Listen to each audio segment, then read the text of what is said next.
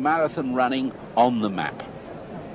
Now, if that's a fair distance to go, the men are setting out on one of their two walks. This is 20,000 meters, 20 kilometers, just over 13 miles, and there'll be 66 starters from 32 countries. That's a remarkable number. Their problem is obeying the rules because walking is a progression by steps so taken that unbroken contact with the ground is maintained at each step.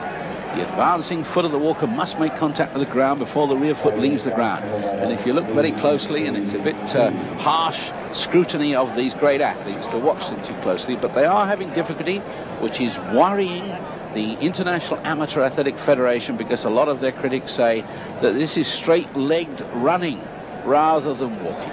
It's always been a controversial problem and uh, it's been in and out of the games due to judging controversies. In the 1924 Olympic Games, walking was excluded from the next games in Amsterdam. It returned in 1932 uh, due to British pressure, really. And when the 50 kilometre walk was introduced, it ran into trouble again. They took them off the track and out onto the roads, and that's where they'll go now. Out from this track, lady of marathon running. Now, what about the walkers? Well, we've got the best of the Soviet Union walkers. We've got uh, in this leading group, well, I can see Canto of Mexico City. Pribilinec, where's 769. Marin of Spain, the little man there, wearing 194. There's Pribilinec. 555 is Ernesto Canto. 822, Yevsiukov of the Soviet Union. Now, are they maintaining unbroken contact with the ground? They're getting around that corner pretty fast as these four break away. Yevsiukov of the Soviet Union leads from Canto of Mexico. Pribilinec of Czechoslovakia. Then Jose Marin uh, of Spain. There they are. There's the first four. And uh, it looks as though that's going to be a very tight struggle. And Udo Beyer, nowhere. Now we're out onto the course again. And 555 Ernesto Canto of Mexico with 769 Jozef Pribilinec of Czechoslovakia.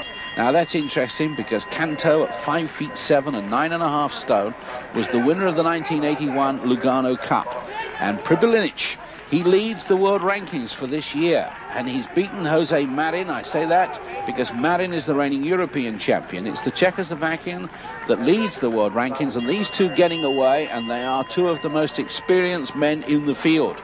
And Yevsiukov of the Soviet Union is falling back, and it's going to be this man that comes into the uh, stadium first and gets a tremendous cheer, Ernesto Canto, who lives in high altitude in Mexico City at 7,000 feet, which he says gives him extra strong lungs. And of course, he's right. And already the second man is in the stadium, and it's the Czech, Jozef Pribilinec.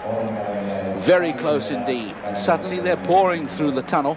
And this is going to be one of the closest finishes in modern times for a 20 kilometer walk. Three, four are in the stadium. Yevsiukov of the Soviet Union. Jose Marin of Spain, the European champion, is in. But Ernesto Canto of Mexico, walking with great style. There's the straight leg that he pivots over before the heel is on the ground again. But looking over the far side as we sit, there are many walkers in the stadium. It's a very close finish indeed. Another hot afternoon nearly 80 degrees. 13 miles they've been out and back.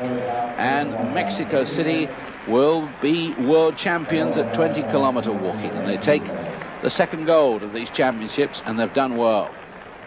One hour, 20 minutes, 49 seconds. Czechoslovakia come in for the silver medal and the Soviet Union will collect the bronze. Three most experienced walkers getting one, two and three.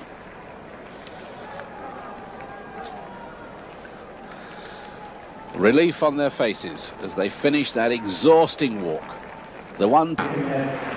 And remembering that finish in the 20 kilometer walk, Ernesto Canto comes home for Mexico City, raises his arm aloft, His time, 1 hour, 20 minutes and 49 seconds. Gold to Mexico, silver to Czechoslovakia, and the bronze to the Soviet Union. Ernesto Canto on to the victory rostrum. Number one. What a delight. Follows in a long line. Remember Daniel Bautista, the Pan American champion, world track record holder, uh, who was disqualified in, uh, in Moscow but did so well for Mexican walking. Remember Felix Gomez, and now we have Ernesto Canto. He'll shed a quiet tear over that. Unique gold at these World Championships. Czechoslovakia too. Two medals for them now. One in the shot, one in the 20 kilometer walk.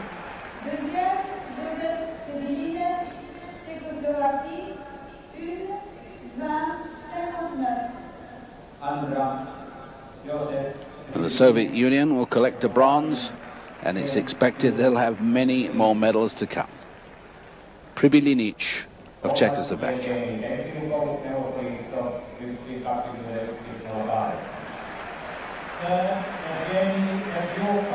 And the Soviet athlete, athlete collecting the bronze medal there. Another three medals in these World Championships. A great day in the Helsinki Stadium. The crowds have come, the sun has been there, the championships have been of the highest order. What a first day to get these championships under.